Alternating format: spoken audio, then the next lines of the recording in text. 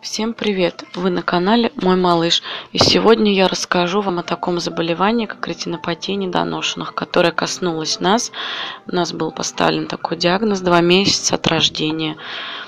Заболевание было агрессивной формы, и со второй стадии у нас за неделю развилась третья. Нас решили прооперировать прямо в перинатальном центре.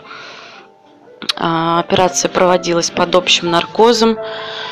Ребеночек, правда, очень тяжело отходил, был целую ночь в реанимации, были остановки в дыхании, он был весь красный, были судороги, температура была высокая.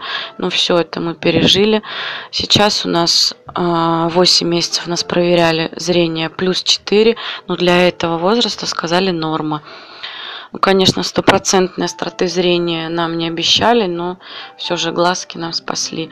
Малыш хорошо смотрит, видит, играет, ну, то есть пока все хорошо. На таком аппарате у нас проверяли глазки каждую неделю. Ребеночка забирали и минут по 15-20 смотрели каждый глазик. Он кричал, плакал. Глазки закрывали, чтобы на них не попадал свет. И кислород в кювезике, он был очень у нас долго, больше месяца, и из-за этого болезнь как бы прогрессировала. Вот это на следующий день после операции у нас были синячки под глазами. 10 дней после операции нам кололи дексаметазон, височную часть, вот здесь будет видно. Вот здесь у нас все синее. Но все это мы пережили.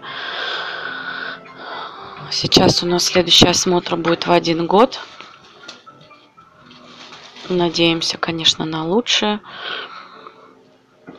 Вот такое коварное заболевание, конечно, не пускайте на самотек, кто с ним столкнулся. 70% недоношенных детей страдает этим заболеванием, и очень много деток слепнет. Поэтому нам, конечно, еще повезло, что нас прооперировали в перинатальном. Такие операции очень дорогие. Ну вот и все, что я хотела рассказать. Подписывайтесь на наш канал, ставьте лайки.